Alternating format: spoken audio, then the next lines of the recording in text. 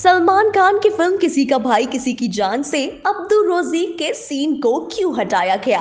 इस पर अब्दू ने खुद किया है बड़ा खुलासा। वल तजाकिस्तान के सिंगर अब्दू रोजी को सलमान खान के रियलिटी शो बिग बॉस 16 से ज़बरदस्त पॉपुलैरिटी मिली थी। उन्होंने अपने ज़िंदा दिल नेचर से सभी का दिल जीत लिया था। सलमान खान ने खुद उन्हें पहले कॉन्टेस्टेंट के रूप में इंट्रोड्यूस कराया था।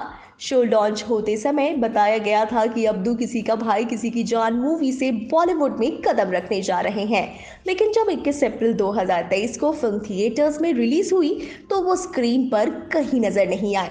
अब उन्होंने खुलासा किया है कि आखिर उनके साथ ऐसा क्यों हुआ? अब्दुल रजीक ने नए इंटरव्यू में खुलासा किया कि सलमान खान की ईद में रिलीज़ हुई फ़िल्म किसी का भाई, किसी की जान में उनकी भूमिका अंतिम रूप से क्यों नहीं बनी? अब्दू ने एक न्यूज़ पोर्टल को बताया कि फ़िल्म में उनके सीन को एडिट कर दिया गया था, क्योंकि यह उम्मीद के मुताबिक नहीं आया था।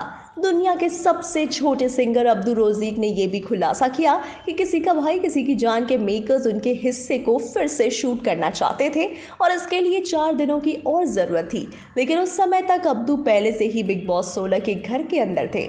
नियमों के अनुसार कंटेस्टेंट्स को घर के अंदर आने के बाद शो छोड़ने की अनुमति बिल्कुल नहीं है। शो से बाहर निकलने के बाद अब्दू हर दिन कामयाबी की सीढ़ियाँ चढ़ रहे हैं।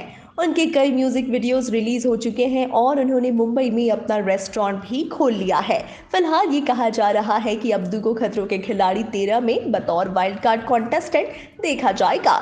जब किसी का भाई किसी की जान रिलीज़ हुई थी, तब अब्दुल रोजीक ने फैंस और पैपराजी के साथ फ़िल्म देखने के लिए पूरा थिएटर बुक कर लिया था।